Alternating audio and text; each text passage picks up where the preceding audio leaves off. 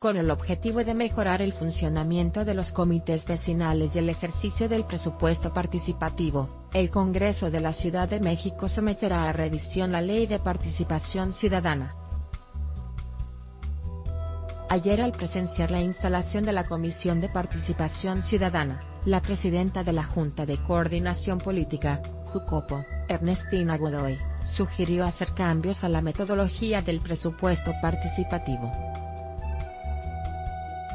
¿Qué tanto se, pueden mejorar los mecanismos de participación ciudadana? Dijo, dependerá de la creatividad e innovación de los integrantes de la comisión, que preside el diputado de Morena, José Martín Padilla. Esa será la mejor manera, si nos sirven los comités ciudadanos o no, nos sigue funcionando la metodología de presupuesto participativo o no, yo digo que no, pero ahí nos van a ir diciendo, dijo a los integrantes de la comisión en el Salón Eberto Castillo. Por su parte el presidente de la Comisión de Participación Ciudadana, José Martín Padilla, destacó que se trabajará para restablecer una nueva relación entre sociedad y gobierno, basada en la inclusión y participación efectiva de la ciudadanía. Y remarcó el morenista, hago un llamado a todos los habitantes, y organizaciones de esta ciudad a que hagan suya esta comisión, que tomemos juntos los espacios de poder.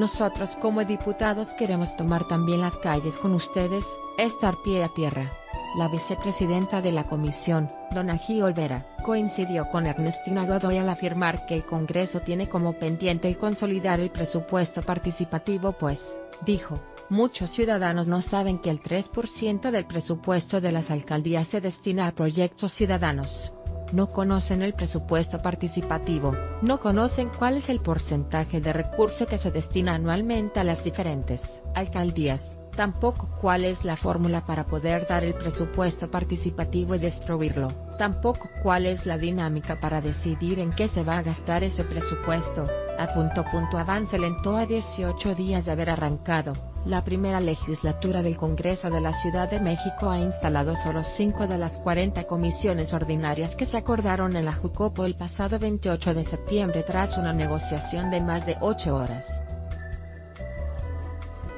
Las comisiones instaladas son parte de las 22 que se asignaron a la bancada de Morena, mientras que a las 18 ordinarias restantes, y la especial no se ha procedido con su instalación, pese a que se trata de instancias de relevancia como la de Administración Pública o la de Hacienda.